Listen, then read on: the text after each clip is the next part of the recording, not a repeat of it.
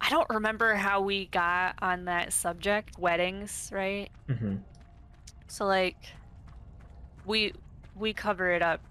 We don't think about it for what it really is or what it really was anyway. But what weddings really used to be, right? hmm Is um everybody gathering and you have to feed them and they're just here to make sure that at the end of the night you two go have sex.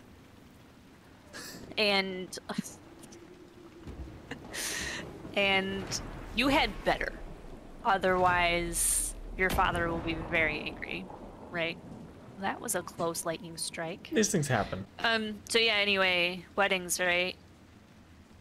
Yeah. Uh, it, they're they they were just a means by which your father could obtain goats and other livestock by exchanging you to somebody with livestock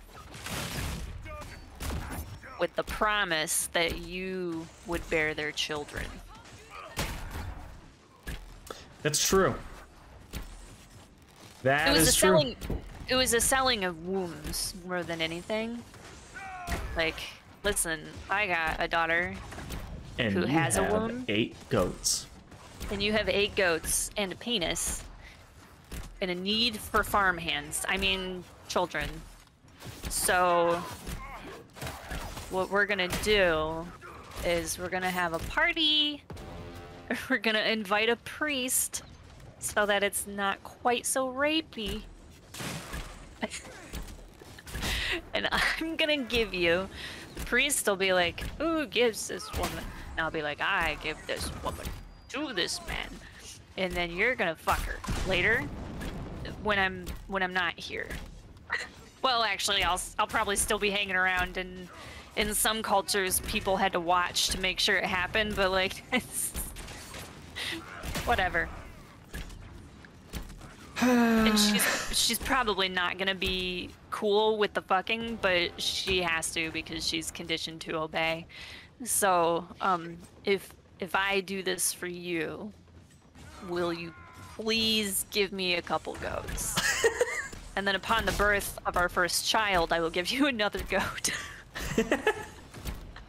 kind of like half up front, I got to pet an alpaca on Wednesday.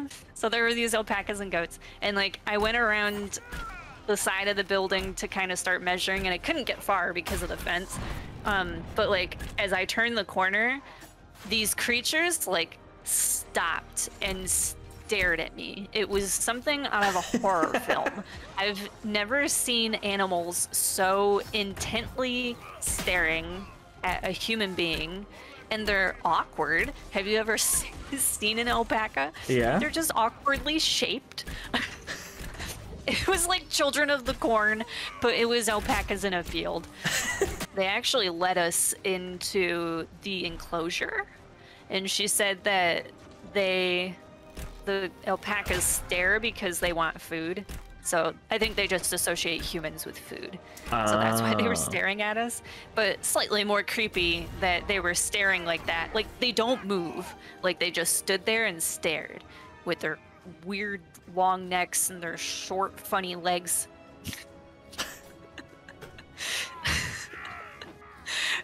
it was so funny. And then yeah, so they came up to us and um oh boy. Whew. Your journey ends, bitch. It's okay. So they came they came up to us with their funny little legs Yeah. and they're so cute.